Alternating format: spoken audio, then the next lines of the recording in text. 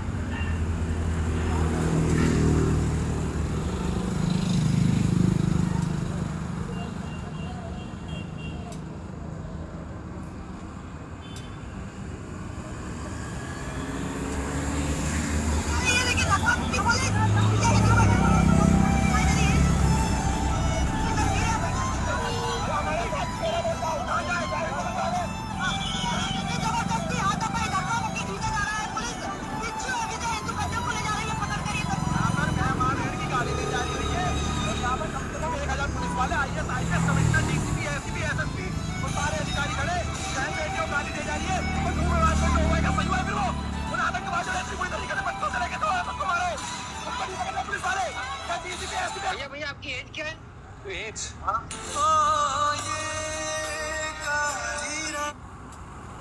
ये दो चार पकौड़ी दो चार जलेबी रख के क्या कैसा रहोगे? सब तेरा।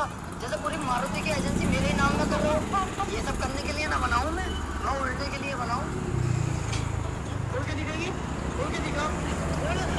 मतलब ऐसा वाला उल्टा नहीं काम तो मैं करूँगा पापा। लेकिन बड़ा काम करूँगा। बहुत मस्त मैं फ़िल्म बनाऊँगा। उसका डायरेक्टर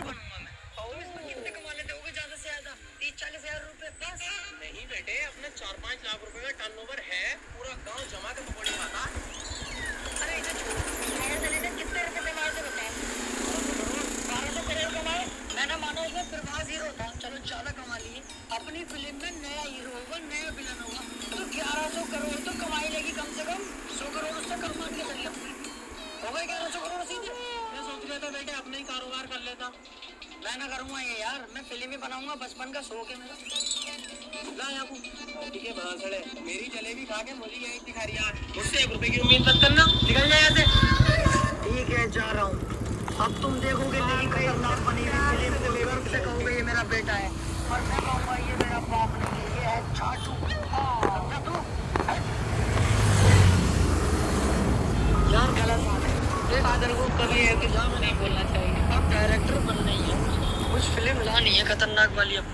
देखो भाई सलीम भाई फ़िल्म हर कोई बना लेगा। तुम भी बना लोगे लेकिन उसके लिए ना ढेर सारा पैसा खर्च करना पड़ेगा।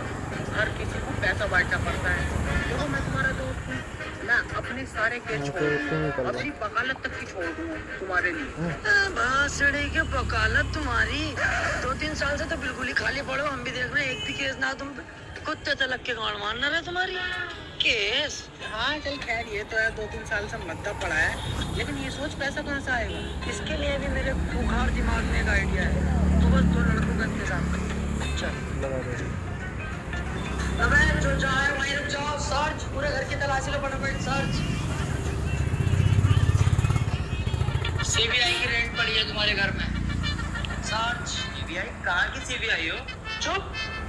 चुपचाप खड़ा है वरना तुझे अंदर डलवा दूँगा। साले पहले सीबीआई का इंस्पेक्टर खड़ा तेरे सामने सलीम। मान लिया इंस्पेक्टर साहब लेकिन सर्च वारंट तो दिखा दो किस चीज़ की तलाश लेने आए हो मेरे घर में? अबे साले मत बोले ना नक्की किच चल रही है तुझ पे कूट का तू है नहीं। तू कौन है? कौन है तुझे? तुझे बताऊँ मैं किस चीज़ की ले रही हूँ? इंस्पेक्टर हूँ मैं यहाँ का। वर्दी है डंगरी है देख लो। वकील साहब से छेड़छाड़ मत करो संभाल के रखो अगला कार्ड दिखा अपना कार्ड दिखाया तो है भी कार्ड मैं दोबारा